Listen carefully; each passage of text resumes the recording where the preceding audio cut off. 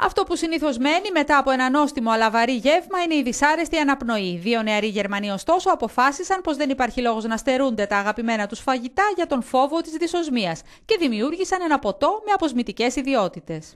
äh, Το ποτό έχει πολύ καλό αποτέλεσμα και στο σκορδόψωμο, το αλκοόλ και όλα τα φαγητά με σκόρδο, καθώς εξουδετερώνει τις δυσάρεστες οσμές από τις τροφές. Ονόμασαν το ποτό τους Πάπα Τούρκ. Man hat auch Untersuchungen Έγιναν εμπειρικές μελέτες. empirisch. Είναι αμφισβητήσιμο αν πράγματι λειτουργεί αυτό το ποτό. Όμως μπορείτε τώρα να φάτε άφοβα κεμπάπ και στο πρώτο ραντεβού. Οι δύο νέοι χρησιμοποίησαν χλωροφύλλη την οποία συνδύασαν με γαρίφαλο, τζίντζερ, μαϊντανό, μέντα και λεμόνι.